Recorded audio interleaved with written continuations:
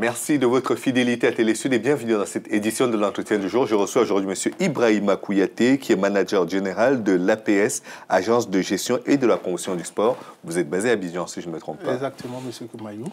Bonjour. Bonjour. C'est bientôt les Jeux Olympiques hein, j'imagine que ce n'est pas une rencontre qui vous laisse indifférent. Non, pas du tout. En tant que manager général de la GPS, c'est vrai que nous aurons nous sommes un peu imprégnés dans, dans, la vision de l'organisation un peu de, de, ces Jeux olympiques qui nous tient à cœur.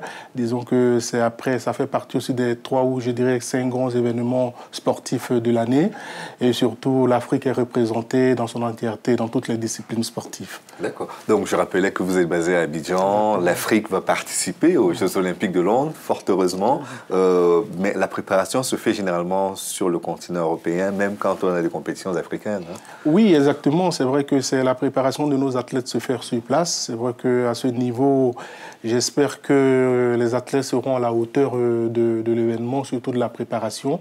C'est vrai que c'est vraiment une compétition qui demande beaucoup, beaucoup de préparation sur le plan mental, sur le plan psychologique et surtout l'environnement. L'environnement doit être vraiment propice à nos athlètes pour pouvoir vraiment se préparer pour arriver à ces Jeux-là, pour pouvoir décrocher des médailles. D'accord. Si je, si je vous parle des Jeux, c'est que certes, la GPS est basée à, est basée à Abidjan, mais vous avez eu une carrière de joueur professionnel, vous restez encore très ancré en, Belgique, mais quelles sont les missions que vous fixez en basant une structure comme celle à Abidjan? Ben Écoutez, nous, on a pour, on a pour mission de pouvoir euh, euh, aider les, les fédérations à pouvoir se structurer de manière professionnelle. Je pense que notre objectif que nous nous sommes fixés avec euh, mes partenaires, c'est de pouvoir apporter notre expertise, notre savoir-faire, notre connaissance, surtout aux fédérations, pour qu'ils soient vraiment professionnels euh, sur le plan sportif. Et pour prendre un exemple concret avec la Fédération ivoirienne de foot, mais je pense qu'il n'y a pas que la Fédération ivoirienne de foot,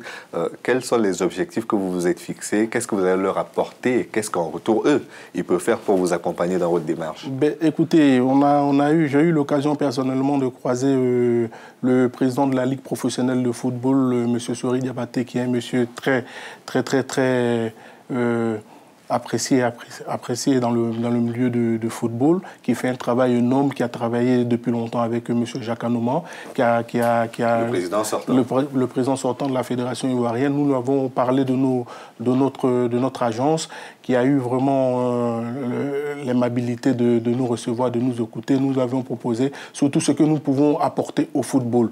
C'est vrai que de nos jours, nos clubs manquent vraiment d'infrastructures. Sur le plan infrastructure, nous sommes présents. Nous voulons apporter notre savoir-faire, surtout accompagner le club à pouvoir se structurer professionnellement. D'accord. Euh, et de ce point de vue-là, la, Côte d'Ivoire n'est pas la plus mal lotie des, pays africains. Mais on le dit, mais c'est vrai qu'il faut être sur place pour voir que nos clubs ont vraiment des besoins, que ce, que ce soit sur le... Je parle de, des clubs de football parce que je suis vraiment, en tant qu'agent de joueur, je suis vraiment en contact permanent avec ces clubs-là. Il y a un besoin énorme, surtout en infrastructure. C'est le lieu maintenant d'en parler et surtout tirer la sonnette d'alarme. Nos jeunes athlètes manquent vraiment d'infrastructure. La GPS veut accompagner ces clubs surtout pour qu'ils soient à la hauteur de, de, de, des exigences maintenant des clubs. C'est vrai, des clubs professionnels, on a, a envie d'être professionnel quand on joue au football, mais il faut mettre des environnements adéquats à la portée de ces jeunes gens. Mais là, c'est un peu comme l'histoire de la poule et de l'œuf, savoir qui a commencé ou qui va commencer en premier. Ben, euh, est-ce qu'il faut professionnaliser le championnat pour avoir des infrastructures ou alors créer des infrastructures je, je, euh, dirais que ça va de pair. Je dirais que ça va de pair. Moi, j'ai été vraiment enchanté d'entendre un président des clubs en Côte d'Ivoire qui me disait j'ai envie de faire de mon club le Real de Madrid d'Afrique. C'est vrai, on a l'impression que c'est de l'utopie, mais non. Je pense qu'il faut que ce président soit approché par des agences que nous, nous dirigeons pour dire que son rêve peut être une réalité. Tout simplement, il faut qu'il puisse faire comprendre que le football, c'est un rêve, d'abord. La première des choses. Pour arriver à ce rêve, il y a des objectifs. C'est quoi Un club de football? Il a envie de faire de son club le Real de Madrid. C'est pas impossible. Un club, c'est quoi? C'est les infrastructures dans un premier temps. C'est le supporter. C'est le marketing. Et tout ça, je pense que ça se construit. C'est un travail de longue haleine, mais je pense qu'il peut arriver. Nous, à la GPS, on est actifs dans ce domaine. Sur le plan infrastructure, sur le plan équipementier, nous sommes présents. Je pense qu'on aura l'occasion de pouvoir en parler un peu dans, dans de longues dans le long moment avec lui pour pouvoir échanger et voir comment nous pouvons avancer ensemble. Mais quand vous regardez des clubs comme le Real ou Lyon en France, le Paris Saint-Germain, le modèle économique est quand même très axé sur les supporters. C'est-à-dire qu'il faut déjà prendre des cartes d'abonnement, exactement, faut payer les exactement. au stade. Voilà pourquoi, voilà pourquoi je profite de votre, de, de, de, votre antenne pour, dire, pour, pour, rendre un hommage à un président d'un club qu'on appelle le Tout-Puissant Mozambique, le, le gouverneur Moïse Katongi, qui a compris il est l'un des présidents qui, a créé, qui vient de construire un stade de 15 000 places à l'anglaise. Voici des solutions qui peuvent permettre au football africain de pouvoir évoluer. Il y a des abonnements, mais surtout le merchandising. Il faut que les clubs, eux aussi, leur propre équipement, leurs magasins, et tout ça, ça fait partie de l'évolution des clubs. Pas forcément euh, attendre l'État, il faut que les clubs aient leurs propres infrastructures à eux-mêmes d'abord, pour parler d'abonnement, comme vous l'avez si bien dit, au-delà même de l'abonnement aussi, parler de, de, de, de, la parafiscalité. Je profite aussi pour tirer l'attention des gouvernements pour dire qu'il faut accompagner ces clubs-là aussi, surtout dans la parafiscalité. Moi, je me souviens bien, j'ai fait un déplacement dans un pays du Maghreb que je ne citerai pas le nom. Quand vous arrivez, les clubs sont bien structurés. Qu'est-ce qui s'est passé? Le gouvernement a dit, ben voilà, en fonction de, de l'évolution du sport en général, toute société qui va s'impliquer dans le dans le sport aura des opérations fiscales, comme on le dit. Mais ça, ça, ça, marche très bien. Je pense qu'on doit pouvoir s'inspirer de ça, aussi. Ça marche tellement bien que la plupart des joueurs d'Afrique subsaharienne, quand ils n'arrivent pas à intégrer les championnats européens, se retrouvent là-bas. De... Oui, c'est vrai que c'est un fléau, mais c'est vrai que les jeunes ont envie de faire du football leur métier. Donnons-leur la possibilité de pouvoir exercer les passions dans leur pays et surtout monnayer les talents. Il y a des jeunes qui sont éparpillés à travers les jeunes Mais là, vous parlez de mécénat, si je ne me trompe pas. Quand vous disiez qu'on peut avoir des exonérations fiscales, c'est le mécénat sportif. En quelque sorte, non. Je ne dirais pas non. Je ne dirais pas que c'est le mécénariat euh, sportif. C'est pouvoir appuyer les clubs à pouvoir se développer. L'État dit, ben voilà, une société X subventionne tel club et en, en retour, ils ont des exonérations fiscales, fiscales, ce qui est vraiment alléchant pour le club et pour la société. Il ne faudrait pas qu'on oublie M. Kimayou. C'est vrai qu'un club de football bien structuré est un club qui crée de l'emploi. Qui parle de création d'emploi parle de pouvoir d'achat.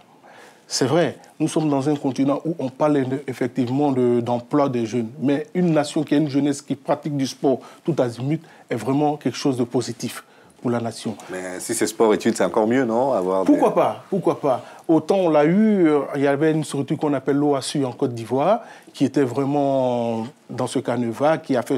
On avait, on avait cette compétition qui, réunissait les, lycées, les collèges entre eux, qu'on appelle l'OASU, comme je viens de le dire, qui avait vraiment pris... Euh, un envol vraiment très bien. Je pense qu'on peut continuer aussi dans ce, pourquoi pas, dans ce, dans cet état d'esprit. Comment est-ce que vous vous positionnez aujourd'hui? Parce que tout à l'heure, je vous parlais des Jeux Olympiques, c'est dans quelques mois, hein, c'est dans moins de, quatre mois.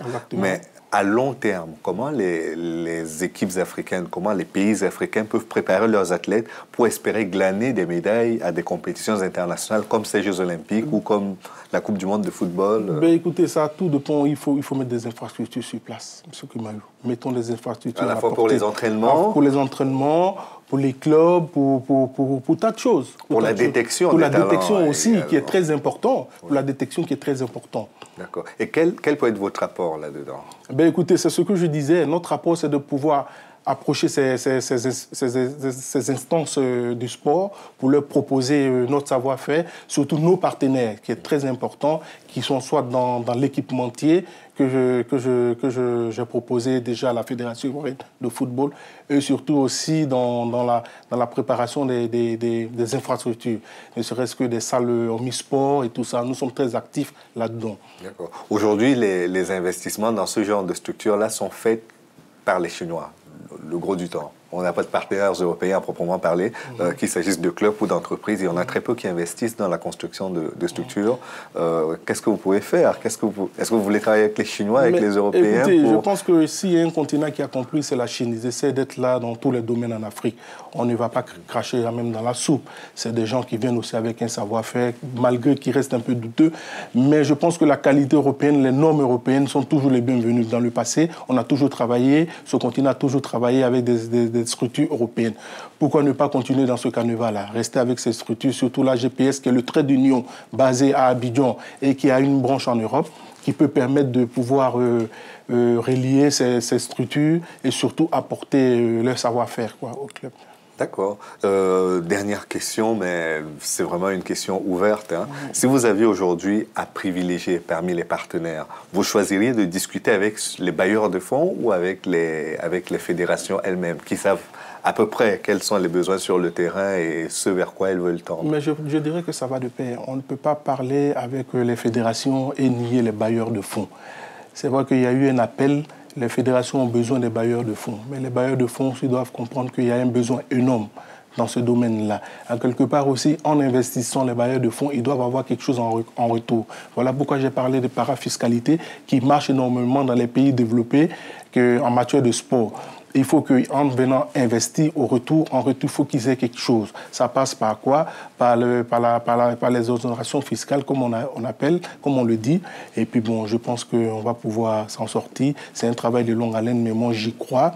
On ne va pas lâcher. Il faut que nous arrivions à mettre vraiment en place quelque chose de très important pour que nos jeunes athlètes soient épanouis sur place d'abord, avant de voir sur d'autres horizons. D'accord. Je, je, voudrais vous poser une question vraiment personnelle. Hein. Tout à l'heure, en préparant l'émission, on parlait de la reconversion des anciens joueurs de, football ou des anciens sportifs de façon générale. Et vous me signifiez qu'au euh, niveau de la FIFA, le, le, métier d'agent de joueur était fait pour cette reconversion-là au départ. Exactement. Euh, Ça tombe bien, vous me, vous me parlez d'une de, activité qui me touche personnellement. C'est vrai qu'on entend tout sur cette activité d'agent de joueur, de plus vert au plus mieux. Il faut, faut, dire que la FIFA a créé cette, euh, cette activité pour des joueurs professionnels qui, pour des raisons de, de, blessures ont été écourtées dans leur carrière pour rester toujours dans, dans le milieu du football, a créé l'activité d'agent de joueur. C'est dommage que de nos jours, tout le monde essaie de, de, d'être agent de joueur, ce qui donne une mauvaise image de cette activité. Je pense que si on veut parler du fondamental, vraiment de, des fondamentaux pardon, de cette activité, je pense que qui peut être agent de joueur seulement si on a joué à un club professionnel. D'accord. Ben, espérons que cela permettra surtout euh, de redorer le blason de la profession et que euh, les activités de la GPS contribueront aussi à donner une meilleure image de, tous ces professionnels que nous avons eus, qui ont fait plaisir à la fois aux Africains et aux clubs qui les ont accueillis. Exactement. Merci beaucoup d'être venu, M. Ibrahim Kouyaté. Et merci à vous d'avoir suivi l'émission jusqu'à son terme. Rendez-vous demain pour une autre édition d'Entraîne du jour. À bientôt.